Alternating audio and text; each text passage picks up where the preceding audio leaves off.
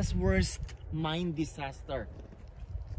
The whole of Canada, itong worst mine disaster. Ang ganda ng mga tom. The last man trip. So, this is the Hillcrest. This It monument happened- is dedicated to the It- underground coal yeah. miners and their families whose hard work and sacrifices helped to establish our communities and our country. They will not be forgotten.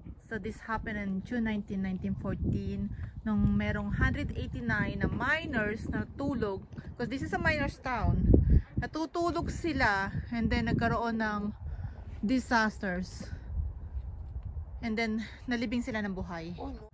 Women and children gathered there to find their sons and husbands. July 30, Oh. three deaths. Oh my god, you know what? My my Oh it's my like God. my I, I feel like I can feel them. yeah. Right? My my Yeah, parang napipil ko sila. Your what? Your face? No, No, you know what nanginginig is ako. ko yung yung parang Tumatayo balahibo tumatayo ko. yung balahibo Yes. ko. Yeah.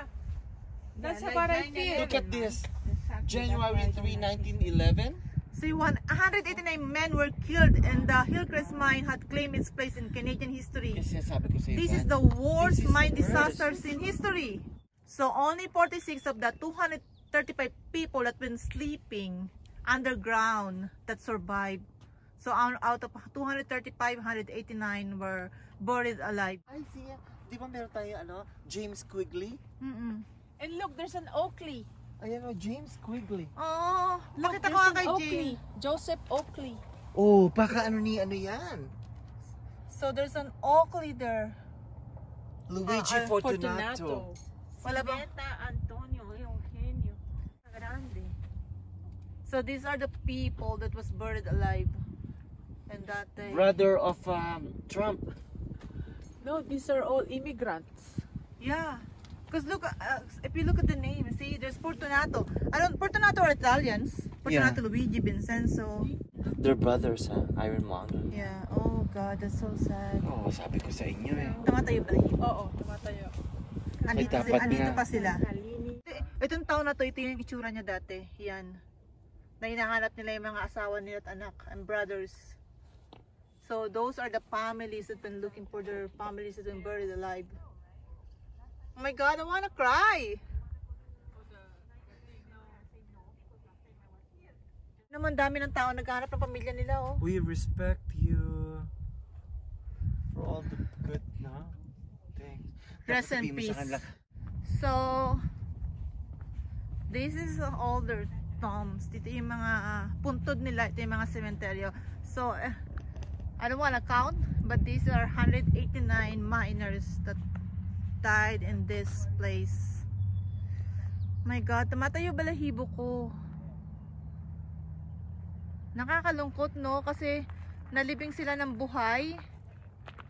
Nakakalungkot. Imagine natutulog lang sila tapos nagkaroon ng explosions. You won't even feel when it explodes. Because you're dead right away.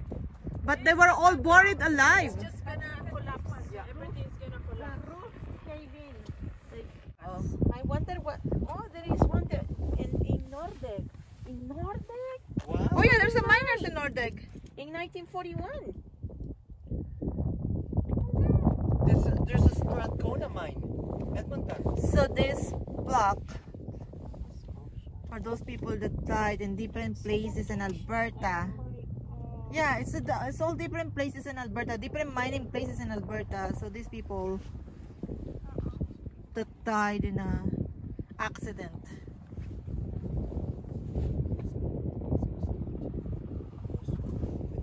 See, this one The is pain and drowned. horror would leave its mark on everyone. Okay.